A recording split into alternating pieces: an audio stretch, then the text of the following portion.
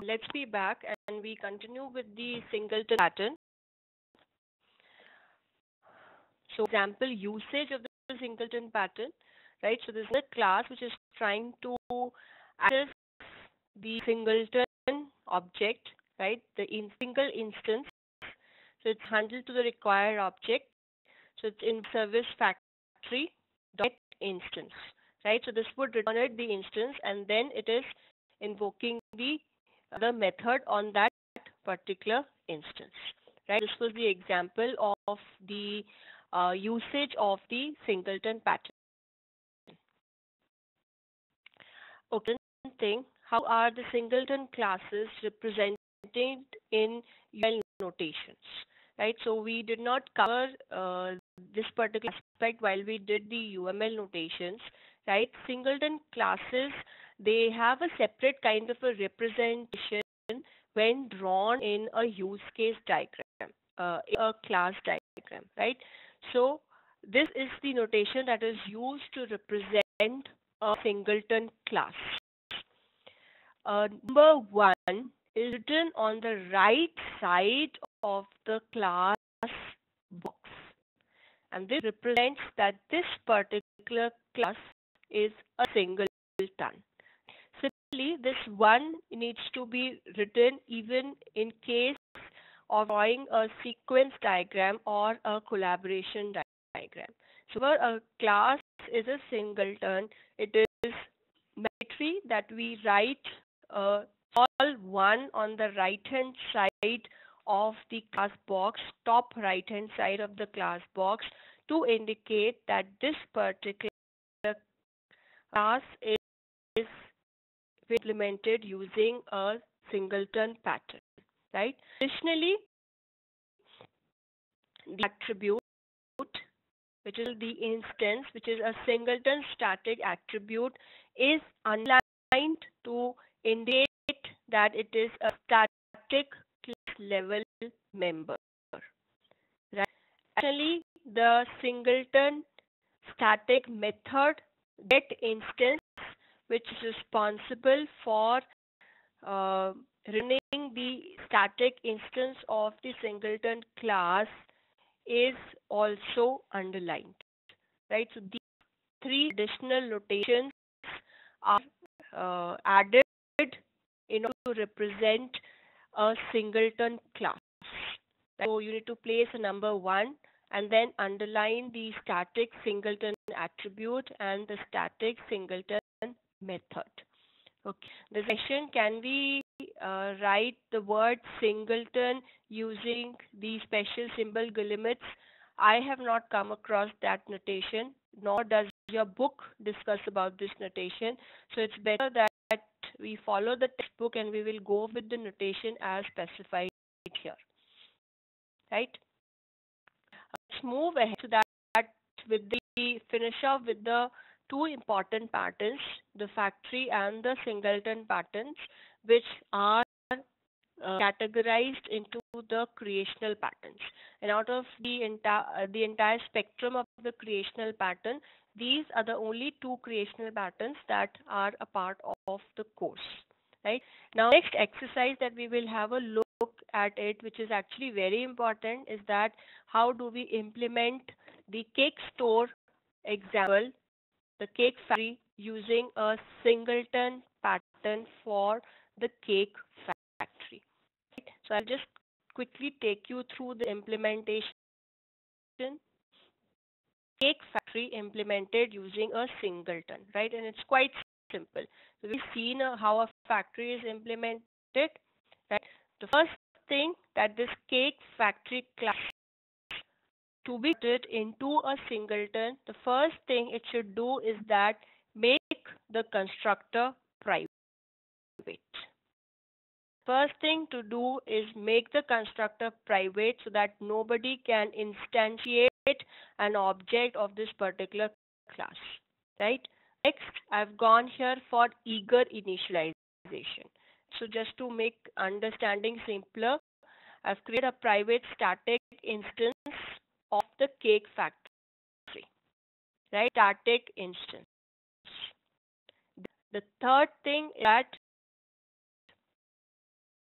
method get instance is created which returns an instance of the cake factory. The instance of the cake factory which is created inside the cake factory class. Right? Rest of the, the uh, implementation of the cake factory class remains the The create cake in factory method which returns the required object based on the string type. Not need synchronization here because we are not going for lazy initialization. It is the eager initialization that we are doing, actually creating instance of the cake factory initially itself, store that with us even if that instant method is not invoked, right? The modified cake factory. The cake factory is implemented using the singleton pattern. Okay, let's see how this cake factory is used by the cake store. So what cake store does is that an instance of the cake factory and then a cake store okay? In the cake store constructor when the cake store is initialized i get an instance of the cake factory. Right? Cake store is initialized I, you get an instance of the cake factory.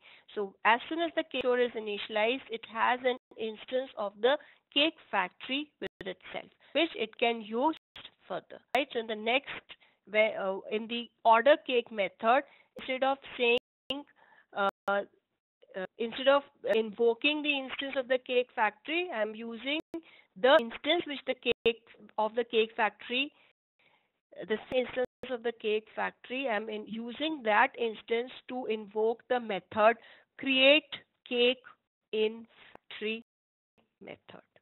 They would return me an object of the type of the fact of the type of the cake depending upon the type as given by the uh, customer and then you can further invoke it.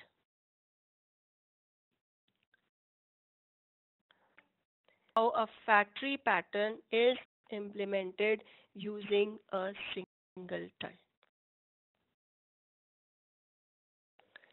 Take questions if there are.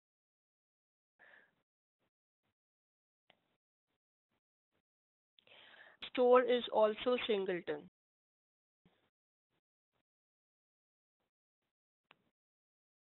like to make the cake store also singleton.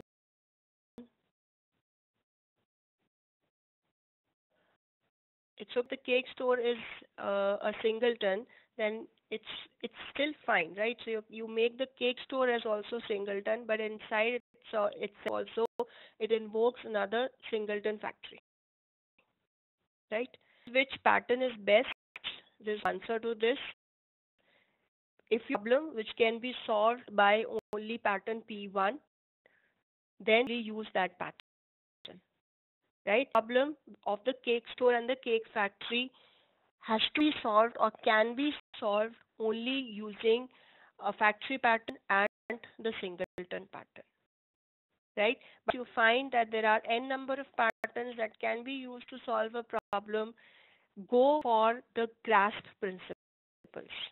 Uh, we will see grasp principles in coming lectures, but what grasp principle says that assign responsibility to that class which has the information to do required tasks right principle says that assign responsibility to a particular class to do task if that particular class has the information to carry that responsibility. If you follow this particular grasp principles, principle, uh, your OO design would be the best, right? There is a tape between the patterns, goal patterns that help you achieve higher cohesion and low coupling right higher cohesion can be achieved if you assign responsibility to a class to do a particular task only if that class has information to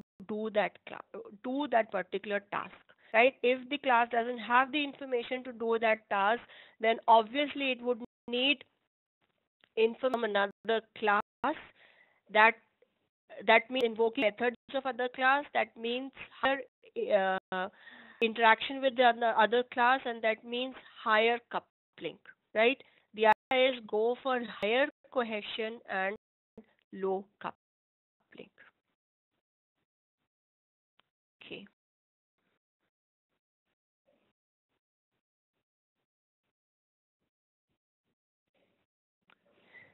More questions. I'll not take all of them right now.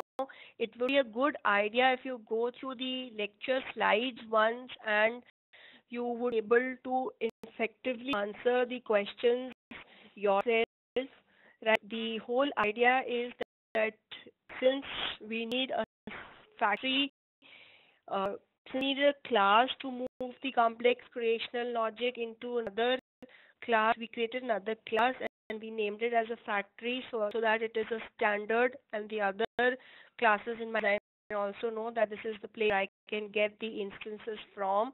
Then the factory class or related classes which are responsible for uh, either recording or providing combined resources are implemented using singleton pattern right? So cover two patterns uh, the tree pattern and the singleton pattern right? Let us quickly move to the next pattern however in the slides i have right now four or five uh, slides which discuss about uh, the concept of codes to an interface right? You can go through these slides. I will jump through the slides and not take them right now.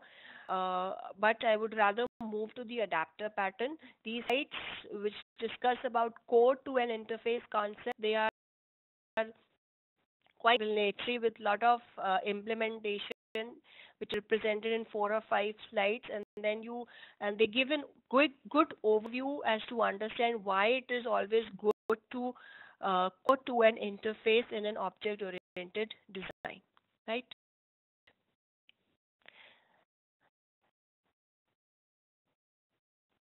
Okay, set of patterns that we will look at is the structural design patterns. So let's see a structural design pattern. These help us to quite uh, to design a structure uh, dealing with the relationships between the various classes right? So how the interaction how the relationship between the various classes should be designed so as to maintain various object oriented concepts uh, in the given design in order to incorporate various object oriented concepts in the given design right uh, some of these structural patterns uh, out of the 23 um, given patterns, they form the part of the structural patterns. And today we are going to take a look at the adapter pattern, right? So let's quickly move to the adapter pattern. First, understand what is the problem that the adapter pattern is to resolve. Okay. Problem at hand is to resolve incompatible interfaces or create a stable interface to similar concepts with different interfaces. Right? Problem is resolution of incompatible interfaces. Right? And soon see uh, this adapter pattern uh, an understanding of the adapter pattern using a diagram, right? Let's see what the solution is. Convert the original interface of a component into the interface through an intermediate object called as adapter, right? Before I take you to a software uh, implementation, let me just give you an example of an adapter in real life, right? In real life, we find a large number of adapters that we use, right? One uh, common example of an adapter which is outside the software domain is the use of a two pin converter. right? In India, we have uh, these sockets. Say, for example, my laptop uh, point, right? It is a three-pin socket, right? It has three pins. Whereas if you go abroad, you find two pin socket that are there, right? So these three pin uh, shoe, which we call them, will do not uh, cannot be into the two pin sockets that are there, right? Moreover, our three pin uh, shoes, right? They are of the circles, right? Whereas the two pin uh, uh, the two pin uh, sockets that are available there are straight pins, right? So the problem here that we have is that there are two different interfaces, right? One interface is the one that you we our uh, laptop charger port, which is a shoe of three pins, but other side it's a two pin system, right? What you need here is a two pin converter, right? So there is a small device, right? let me call it a device, which is actually an adapter, which is adapting this interface to the other, right? It's very kind of a concept of an adapter. There are two different interfaces, right? And we need to merge those, these two interfaces, right? So this is what adapters look like. This is my existing system being app by the client, right? So which is available with the client. But this is my third party system, right? Which is available at present. What I need is something in between here which can help me join these two interfaces, right? Because there is an interface match, match problem, I need an adapter, right? Well, we can see that there is something, some that you can put in to join these two interfaces so that they form complete whole. In terms of software, we need some kind of a software implementation class so that the two interfaces become compatible, right? The clients can continue to use the existing system, but so the third party library gets added, right? this the adapter pattern. Uh, so the idea is there are two different instances which are supposed to be joined together without disturbing the existing system. And of course you cannot actually disturb the third party right? So you need to provide in a bridge in bridge kind of an implementation which is called an adapter which helps you to join these two incompatible interfaces right? I just go back to the problem right? So that we are so that now we have a better understanding of the problem. We read the problem statement again so that the process says, says that how to resolve incompatible interfaces right? So if incompatible interfaces are provide stable interface to similar components with different interfaces right so we need to resolve this problem of two incompatible interfaces right? The solution is convert the original interface of a component into another interface through an intermediate adapter object, right? And we diagrammatically again that if this, these are the two incompatible interfaces, we then adapt here between them in order to join the two incompatible interfaces that the two different softwares can interact with each other, right? And now we take a look next to the of an implementation uh, to the implementation of an adapter. Right? Understand this adapter in a better using the implementation.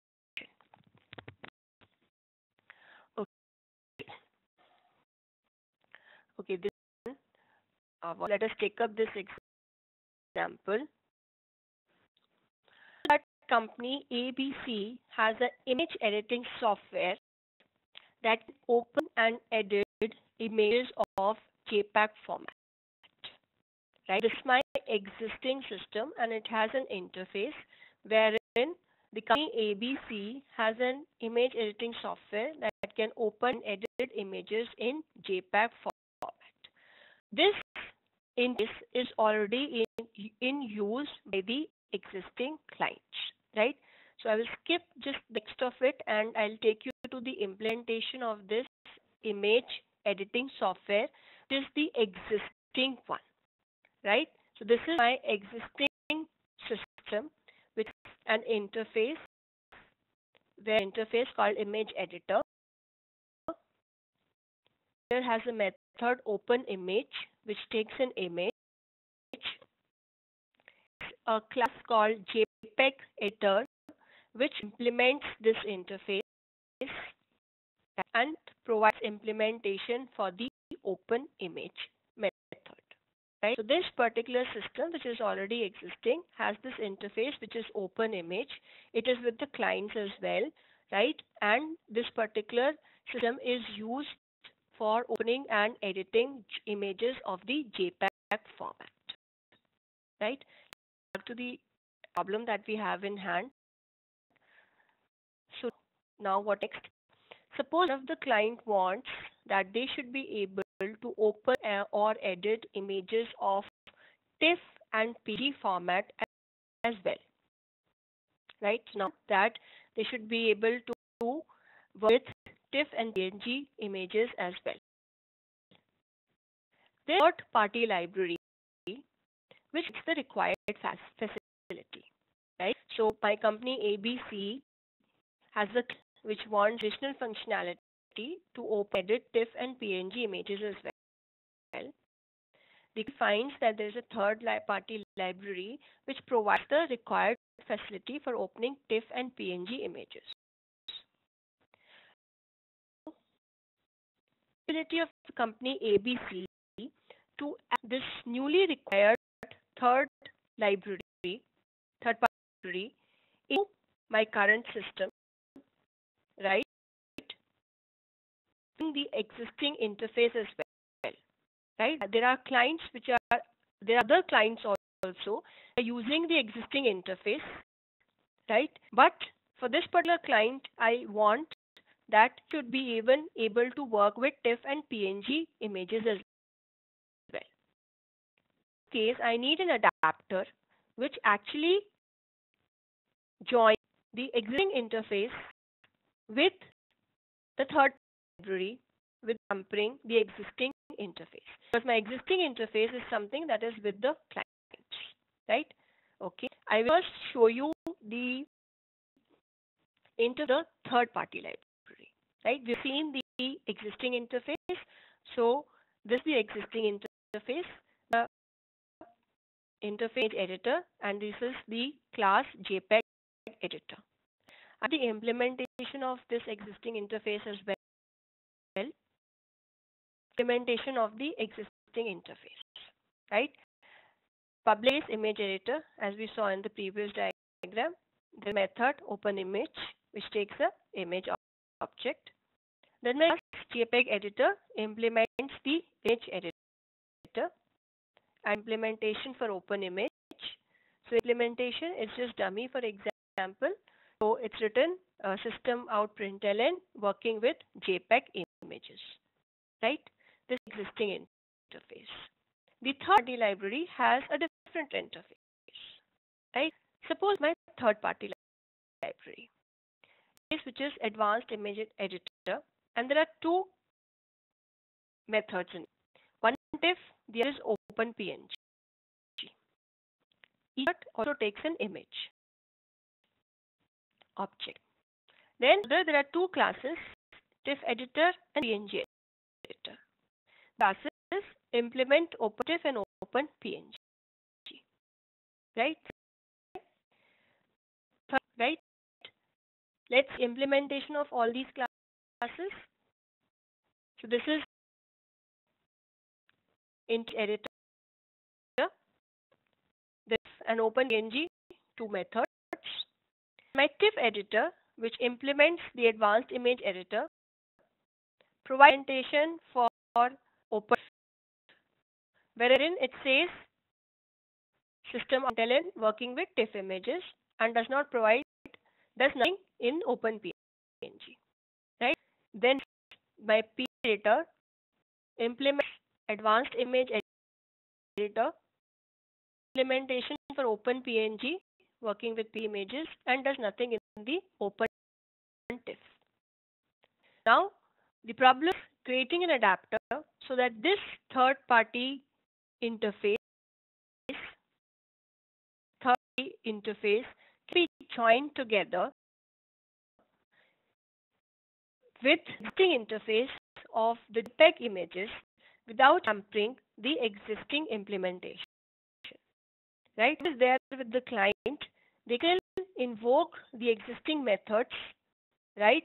And still open JPEG and PNG images and the others who do not want TIFF and PNG, they are not hampered. Right? So let us take a look at the implementation of the adapter. Right, share this adapter, my adapter class implement the image adapter interface. Sorry, the image editor interface. Right, so there are two interfaces now. One image editor interface, which was the original one, the one, and an advanced image editor interface, which is the one with the third party. Right. So my image adapter class, let me just look a bit. This is okay. My image adapter in the editor interface, right? In it takes an reference to the advanced image editor. This is interface available in the with the third party. The image adapter constructor. Okay, in the it is object and retrieve type of the object. The image.getType is a method to get the type of the object. Instead of type TIFF, I insert a TIFF object, assign it to the, the image editor to advanced image editor reference. Okay, if image type is of PNG, then I create an object of PNG editor and assign it to the reference of advanced image editor. Right? This is the of the image adapter. Okay. Now again, since my image adapter is editor with existing system, and if remember in my existing system there was a method open image. No open TIFF or no open PNG. It had method open image. Particular image adapter class needs to provide implementation for open image method. Open image method again the type image. Right? If it is if it involves it use image editor uh, reference to the advanced image editor in and invokes the OpenTIFF method. If it is PNG, it's an implement uh, invocation to the Open PNG. It's clear. Let me go ahead. More as I move ahead, right? I that's my adapter, right? Now in the image editor that was was the existing implementation. I modify, I create an object of the image adapter. And then open image method, the type of the image. If it is JPEG, then I am providing implementation which is there for the JPEG. Ice, object of the image adapter and king image adapter dot open image. Okay, I'll again let's go ahead. Now client who all only has the JPEG editor. Right? The client which has the existing JPEG editor. He creates a JPEG editor, open image by passing a JPEG image, invokes an image by passing a TIFF image, invokes open image by passing a PNG image. Right? Interface to the client is not changed. Client wants to use the the client will be able to use the same interface as he was uh, previously using the image interface, right? Passing, passing JPEG, TIFF, as well as PNG images. But the clients who don't want to use TIFF or PNG, their action will not be changed. They will continue to use the same interface. The adapter class, which is created, I'll go back. Let's do a one se session which is created, which implements the existing interface and creates an uh, object a reference to the new interface. Right? And it, in, in its constructor, it creates the third party based on the type. Right? Provide implementation of, of the implements again based on the type. Right? The editor is to create an image editor object. It's a JPEG image. Do doing earlier. create the object and invoke image on that adapter object. I'm not you've uh, understood what I was trying to explain, but I hope it would be in questions. You can please ask me. Uh, sorry. Go back to the edge adapter. Let me zoom a little. Okay.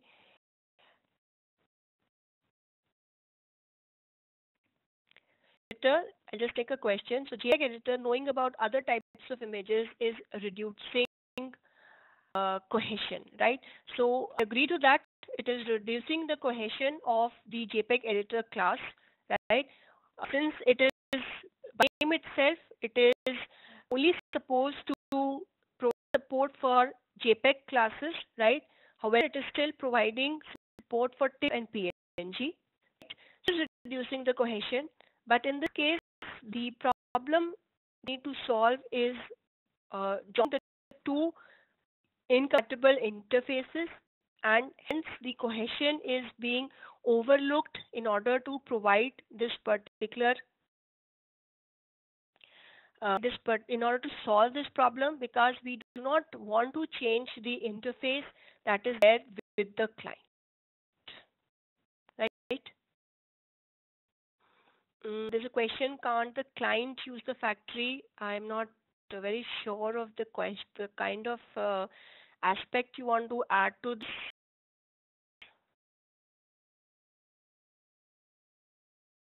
The source code, right, is only having the APIs.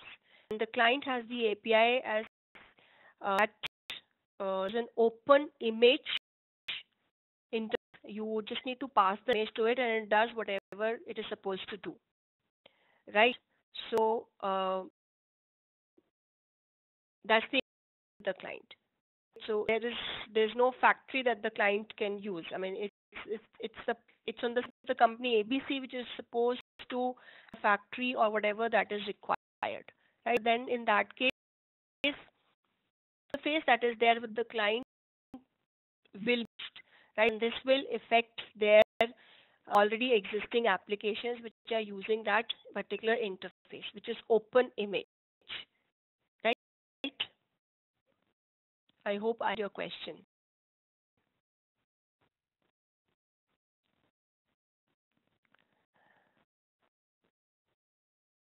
Okay, any more questions? If there are any other questions, maybe regarding the assignments also, we can take up.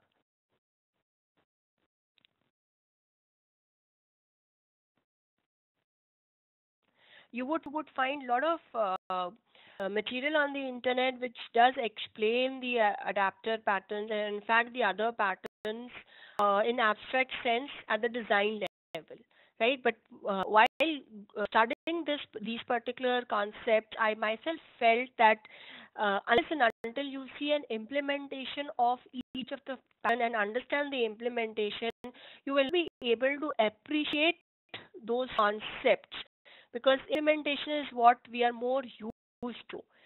In fact, if I leave the discussion of the adapter at a design level, it doesn't actually uh, give such a, um, I mean, help so much because it leaves it at, at an abstract level. Right? This is the reason why I have picked up the implementation examples as well to explain the adapter, uh, to explain the patterns. And in fact, I will try and do this for all the things that we cover in this course, right? That does not mean that you get uh, uh, scared that you would be uh, required to read too much code in the examination, right? Uh, we also know that there is a varied um, diversity of students that are there and that are enrolled in the course. There would be a chunk who would be uh, familiar with Java as a programming language as such, right?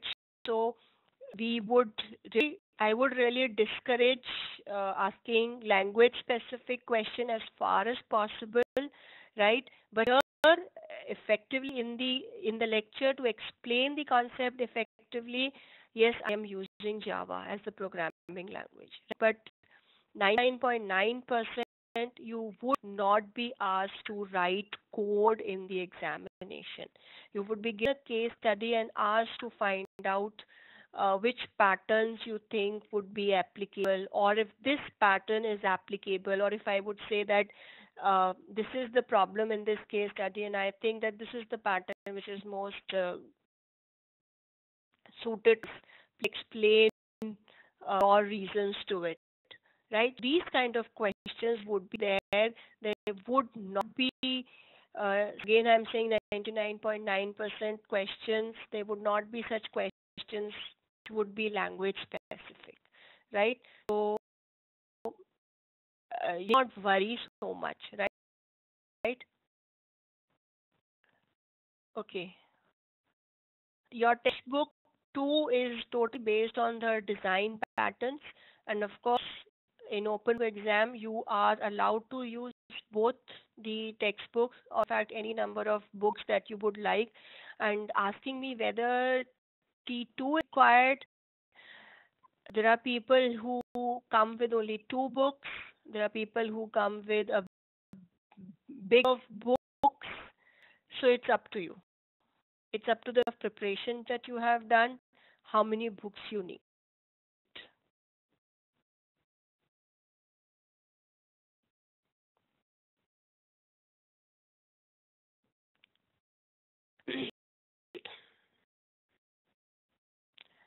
Okay, just one question. Where did it? So of questions that you would get from the uh, design patterns.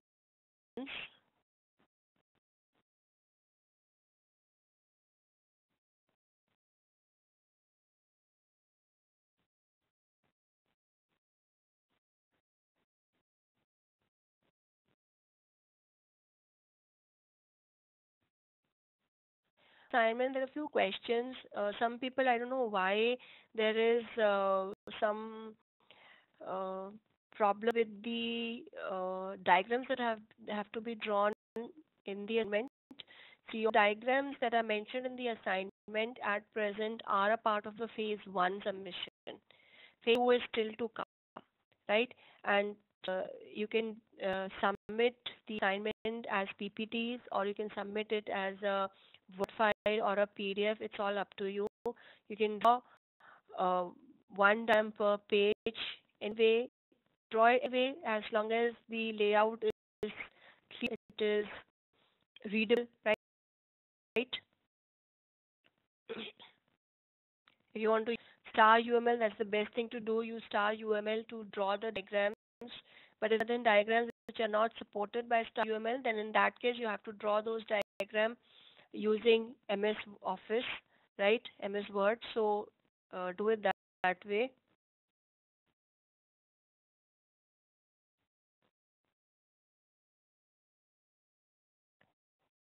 Uh, questions about quiz 2. I will upload the details of the quiz 2. We've just uh, we've finished with evaluation of the answer sheets of the mid-semester ex makeup examination. So I would uh, take a week time to complete that and then uh, upload details about the quiz 2. By that time, the assignment submission phase 1 would also be complete and then I would take up the assignment phase 2 details as well. Right, so keep looking on the assignments, uh, announcements on the eLearn portal, you will get information about the quiz 2.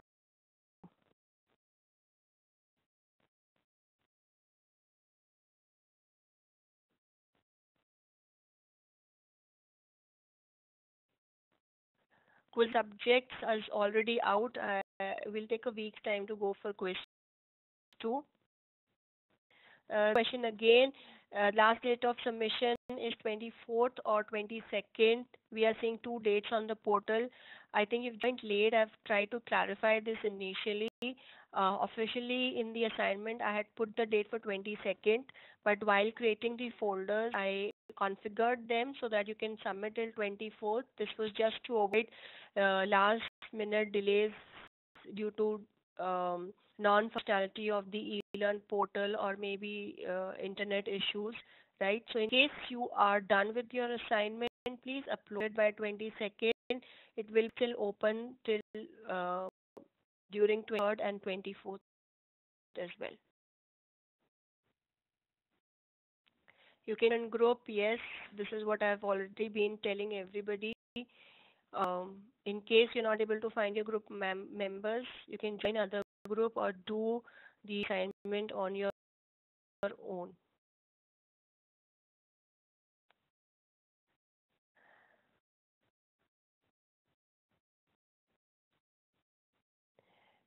Uh, most of the rest of the questions is what I've answered. Description mandatory, yes, it is mandatory. Otherwise, uh, it would we would not be able to understand the scope of your case study. Right, it is mandatory that you submit all the documents as mentioned in the assignment document. Right. Uh, with this, I will close today. I will upload these uh, assign these uh, today's lecture slides on the portal and um, have the video of the today's lecture also uploaded in a day's time. Right. Thank you so much. Uh, there's a question PPT for lecture 8. 8 are not uploaded. Today's lecture is lecture 8. Right. So they will get uploaded in a week's time, uh, in a day's time. Right. Okay. Thank you.